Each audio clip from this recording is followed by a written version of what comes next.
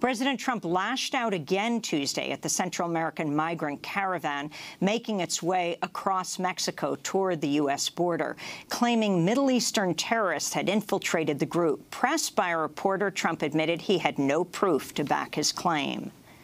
They say it happens all the time from the Middle East. It's not even saying bad or good, but some real bad ones.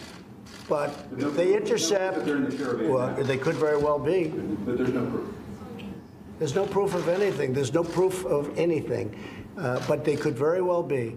There's no proof of anything, the president said. Vice President Mike Pence claimed Honduran President Juan Orlando Hernandez had spoken to him about the caravan.